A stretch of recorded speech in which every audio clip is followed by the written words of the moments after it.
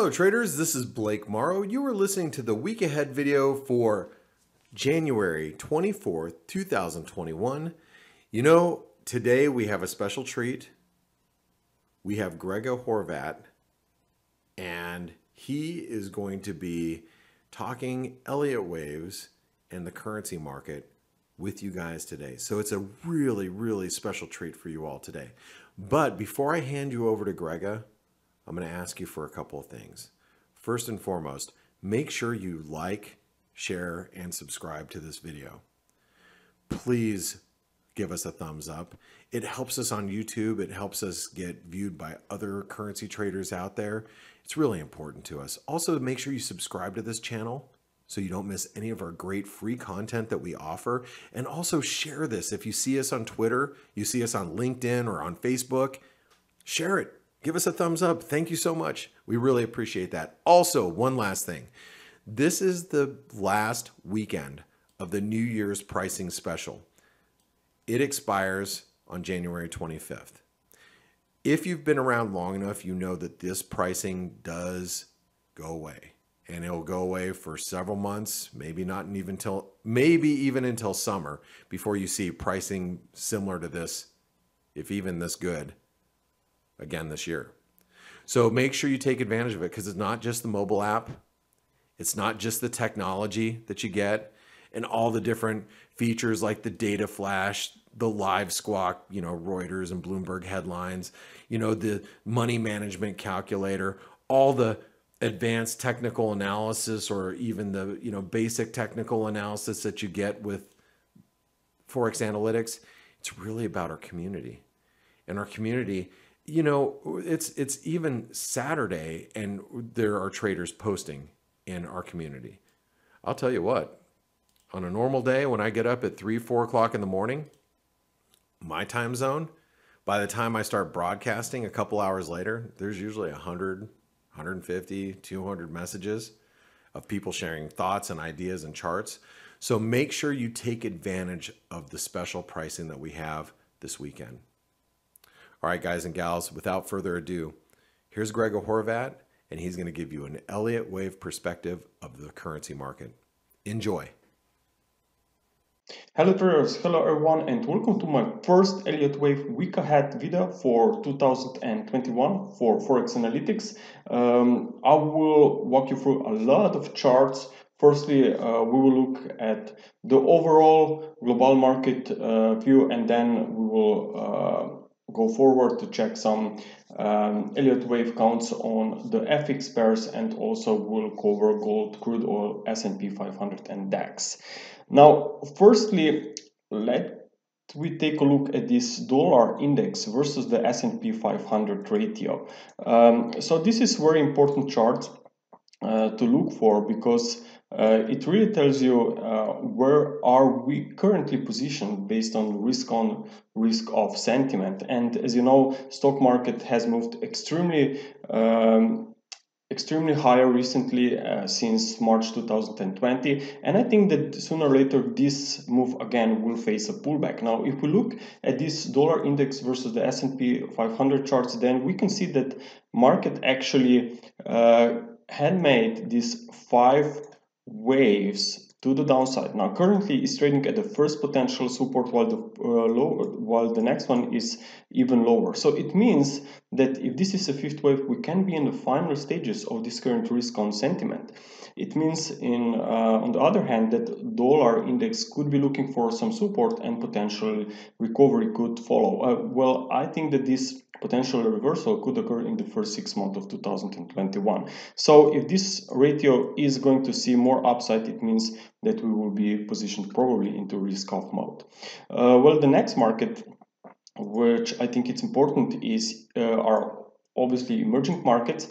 Now, firstly, the longer term chart suggests that we could be here dealing with an overlapping structure uh, headed a new high seen as wave B but even this one could see more up uh, more upside but after a retracement. Now notice that always when we have seen a very sharp recovery the market then made a pullback. So since we have seen a very nice and strong recovery to a new high I think that this pullback is something that could be considered. Now looking at the daily chart here, you have potentially five waves up within this uh, latest wave 5 which is extended lag. So again it's a i know it's a very strong uptrend but definitely not the price where you would be looking or willing to look uh, for potential new investing opportunities. I definitely think that uh, much better opportunities could occur after this retracement.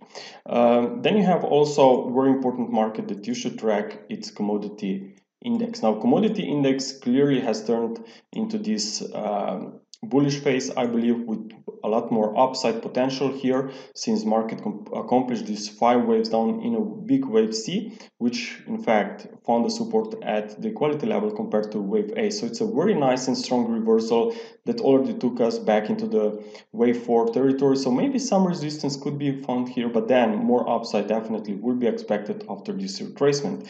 Now, if we look at the daily chart here, then you will actually see uh, that um, this recovery is made by five waves with the current lag that extended back to this gap from February 2020 where actually when actually this strong breakdown occurred uh, at the same time with stocks. Okay so we feel this uh, now and maybe it's time to go sideways or slow down. If from any reason we'll just continue straight to the upside, then obviously I would adjust the wave content look for this uh, to be a wave uh, rather than wave 5 but then again new opportunities would be expected to occur after a wave 4 setback so either um, we see reversal from here okay and then we see um, new opportunities after this pullback or wait for extension extension higher and then wait for a pullback. So in either case i think the next pullbacks will be very important and potentially with very nice opportunities.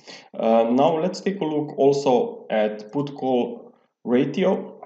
Uh, well the put call ratio here okay let me just expand this. The put call ratio is at extreme obviously because market is at the highs. And the last the last time the put call ratio has reached these levels was actually when looking at the moving average um, of this put call ratio of an inverted put call ratio chart actually or data I should say.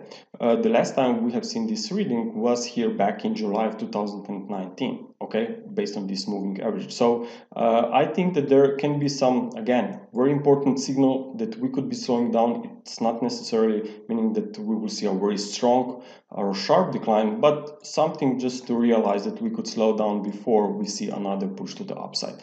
Again you definitely don't want to buy here. Much better opportunities would occur when this moving average of put call ratio inverted scale uh, is on the other side of course.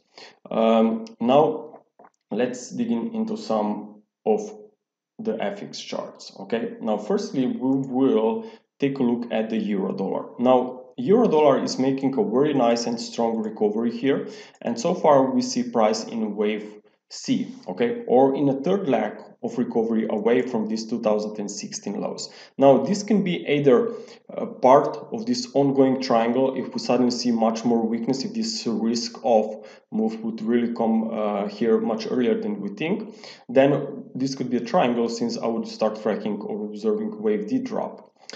If market will just continue to print higher prices on stocks, and commodities from here, then I think the dollar will see obviously more weakness.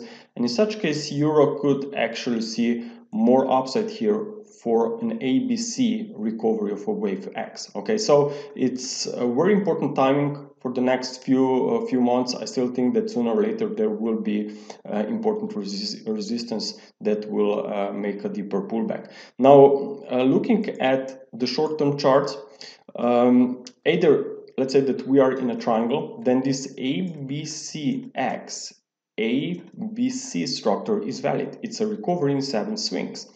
I've been reversing, I've been looking for this potential reversal here uh, at the start of January, and so far this occurred very nicely. I said that even if this is a very aggressive bullish count like this one, an impulse, we would expect a pullback into wave 4 okay? Or here we would expect something more aggressive to the downside in five waves especially when this if this corrective trendline support or this corrective channel is broken. Well when looking at the both markets both uh, sorry both structures i still think that there can be a little bit of more weakness coming. Why? Because if I look in the four hour chart here i can see quite aggressive sell-off here meaning that this is probably only first leg of a higher degree pullback that should be made by three waves. So even if this is going to be a corrective movement, I think that more weakness down into wave C could occur. So watch out for potential resistance here um, around 50 and 61.8% for the next week uh, from where I would be looking for this uh, bearish continuation. So still it's a very tricky to say where we are positioned here on the longer term uh, structure but even if this wave count is correct then can be more uh, weakness even if this bullish count is in the cards there will be more upside but again after this drop that I'm expecting on the four hour time frame. Now, if we also take a look on dollar index to give you a reason why I think that euro dollar could see more upside is because here on the four hour chart, where what we can see is very nice and strong rise here from January lows, and then you have seen a pullback in three waves, but then the key is another three wave structure to a new high. So this cannot be wave C that you would uh, label a top and you would expect more weakness. Because always when you see a three wave movement to a new high then you can expect that this belongs to a more complex correction. So i'm looking for a flat formation here. Maybe 89 90 will be retested and then watch out for more upside here after this correction. So again euro dollar could come to the downside.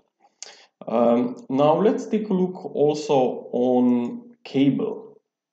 Now cable is making a very nice gains here, but notice that recovery here from 2020 lows is overlapping. Okay, so it's very hard to say that this is ongoing impulsive trend that will take us much, much higher in the upcoming years.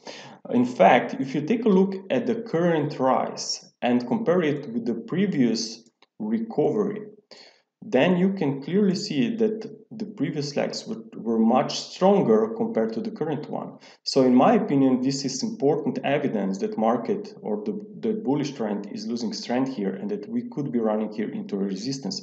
We have a few 100% fib levels compared to the previous wave A and even to the previous um, this three wave structure measured from N to wave X. So I think it's a very strong resistance up here. Also, you have here a divergence on the RSI.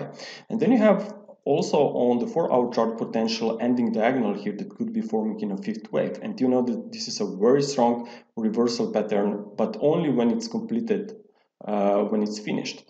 And I will be looking for two potential um, price levels that should be taken out before I can confirm a reversal. Now, the first support is at 1. 3516 level okay? And the second one is at 1.3445 level. So the first one is the support the second one is the bearish level. Its um, approach that I also um, try to illustrate here at the bottom of this chart when you can see clearly an uptrend and then I have two supports.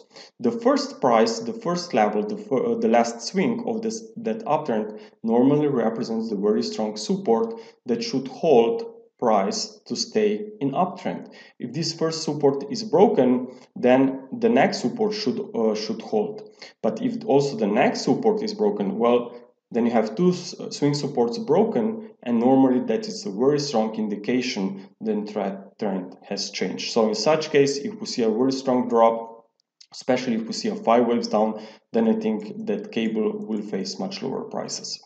Now let's take a look also on Aussie dollar. Now Aussie dollar um, is in a very strong uptrend.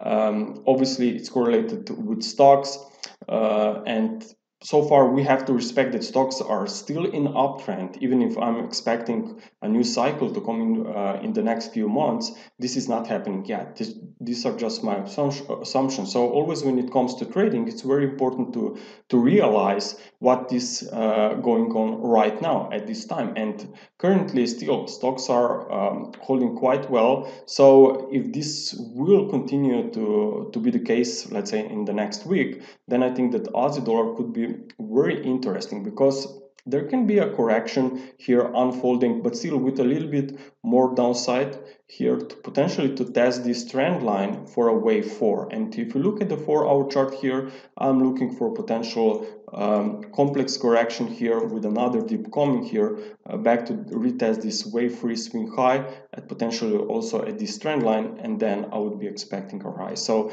Aussie dollar would definitely be on my radar screen if we just continue to do uh, to see more upside on stocks. Um, now let's take a look also on dollar CAD. Now dollar CAD is here in a very strong reversal mode on a weekly scale but i think that this can be a wave c but even if it's wave c it can be uh, can be headed even lower because if you look at this daily chart then we have potential ongoing five wave weakness okay but what i see is a price at the end of this extended wave 3 currently forming maybe even a wedge here in a subwave 5 so again trend is bearish no doubt but maybe there will be some important support coming in uh, in the upcoming weeks. Uh, but as i said maybe after a completed here ending diagonal which could see a little bit more downside and then a reversal to the upside. Of course, it's very important to track crude oil prices. As you know, crude oil is still very strong. I see a little bit more upside here in the near, near term, so this could eventually uh, send dollar CAD to another uh, to another low before potential price will stabilize. Um, now let's take a look on dollar Swiss. Now dollar Swiss here on a daily time frame, um, it can be trading in a wave C, third leg of a, of a corrective decline, which already touched this um, lower trend line of this black channel. So it's a corrective channel that could be trying to, to limit the weakness here. Uh, so I'm not really sure if this wave 5 has already finished here or we'll see another retest of the lows.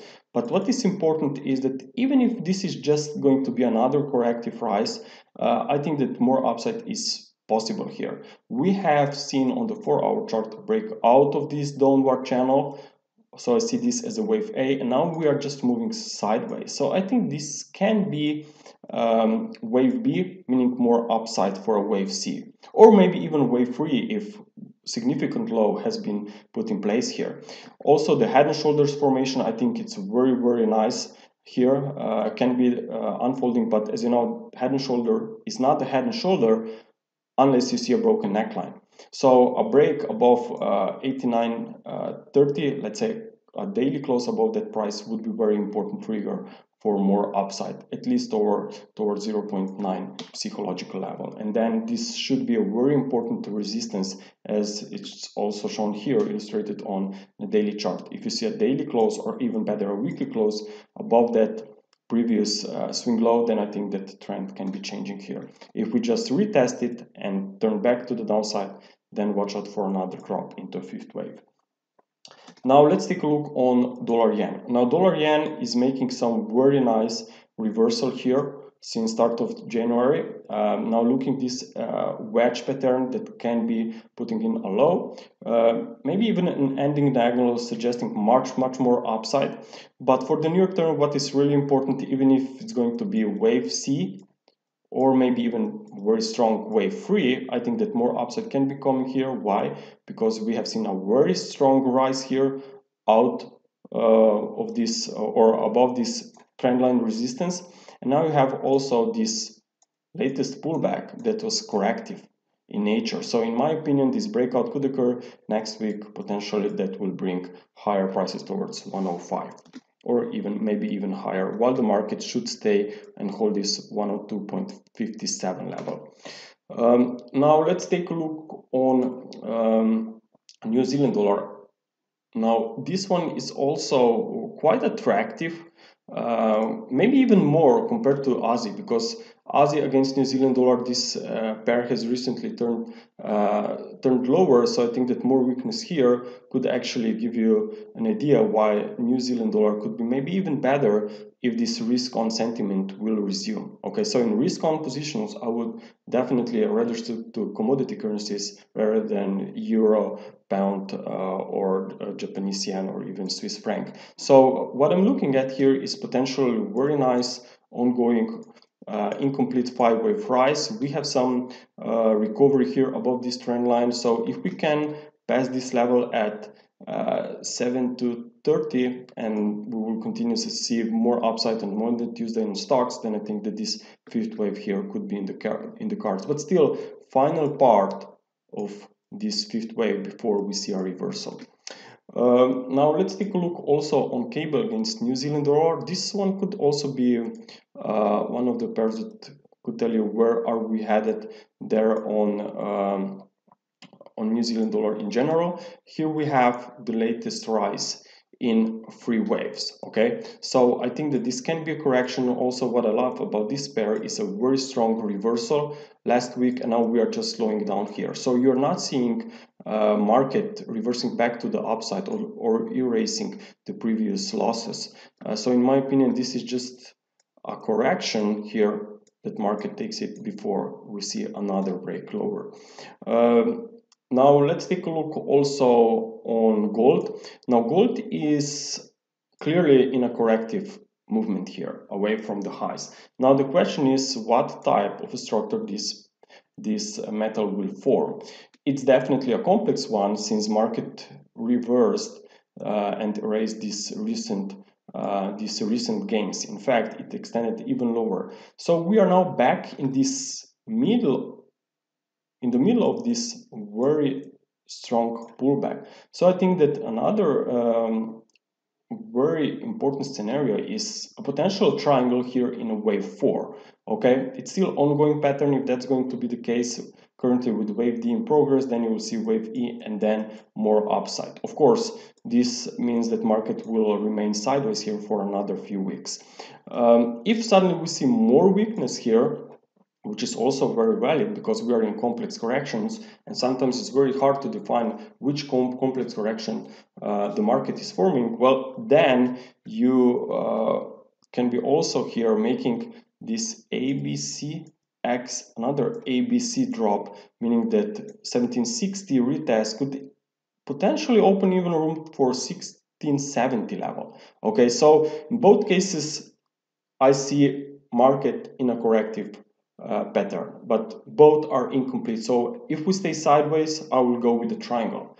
If we see a new drop, let's say in the next week or two, then I will go with, uh, with this second wave count. Um, but both suggest that when this correction is finished, I will definitely have a very close eye on them, then um, I think that uh, there can be a very nice opportunities here.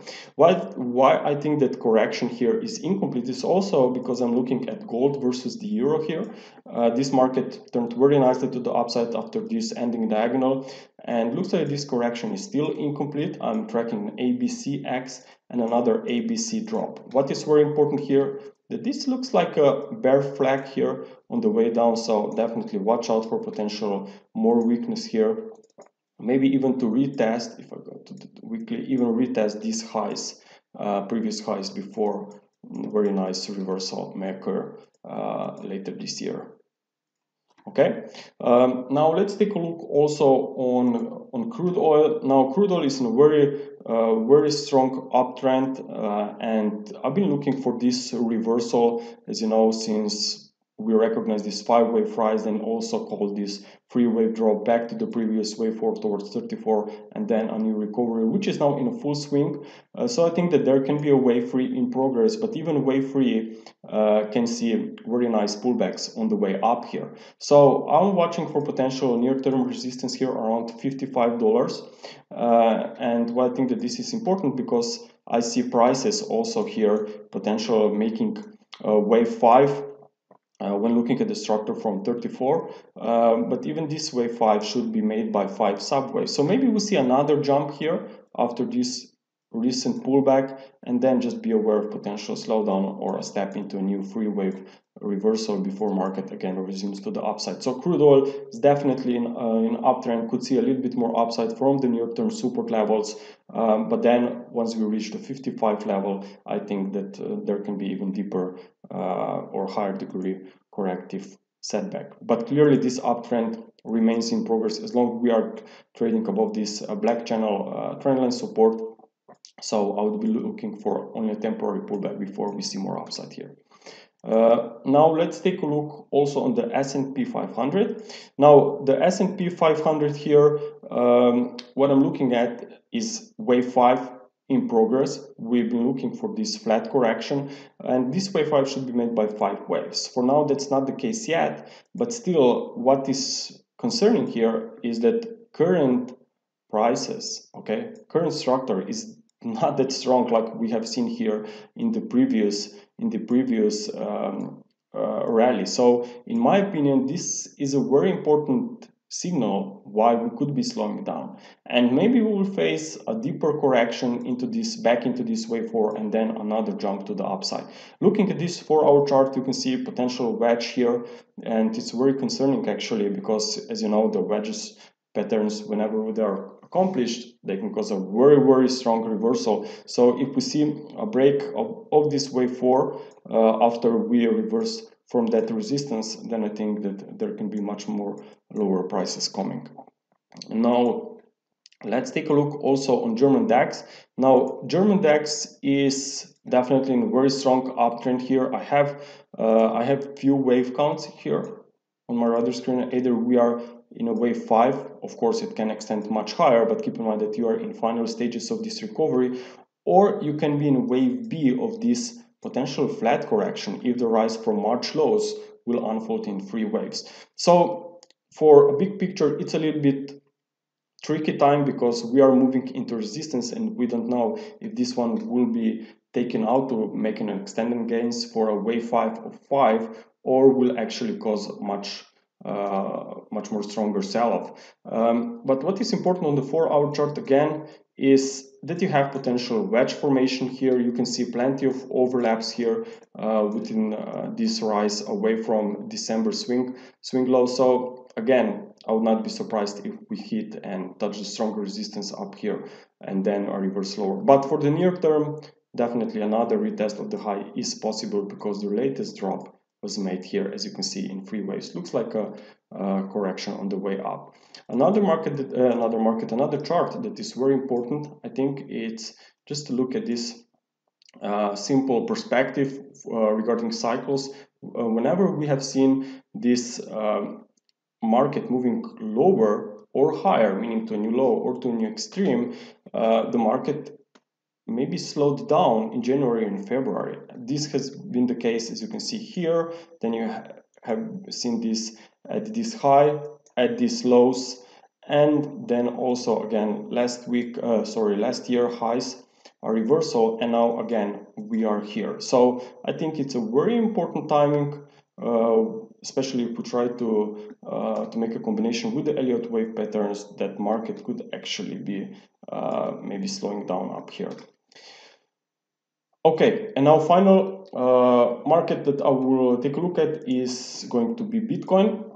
Now, Bitcoin is definitely in a very, very strong uptrend, and we've been looking recently for this reversal. It looks like this reversal is very nice so far, is in three waves, so it can be wave four, but I'm not really sure if that's wave four or the uh, completed this correction at the recent lows. Why? Because if I look at the four hour chart here, then you can actually see that this drop from end of wave B is not in five waves, it's in three waves. So in, uh, I would not be surprised actually to see market retesting the previous lows, maybe even this wave four or lower tra uh, trend line of a corrective channel before this market will stabilize. Also, let's keep in mind that uh, there have been uh, some correlation between Bitcoin and the US dollar, of course, and um, what I see if US dollar is really headed higher, for this corrective advance that we are currently tracking. I've been also talking about this on euro dollar and uh, dollar index. So if we see more upside here, then maybe we will see here more weakness, as I said, into wave C, which makes sense because, as I said, wave C is not made by five waves yet. Okay, traders, thank you for your attention. Uh, thank you for your attention. I hope that you enjoyed this video. I will definitely make sure to uh, again uh, make a new one very uh, very soon. So if you are interested in more analysis on a daily basis, then make sure to check uh, ForexAnalytix website. We still have this new year offer available till January 25th. Okay, traders, have a good day and trade well. Bye.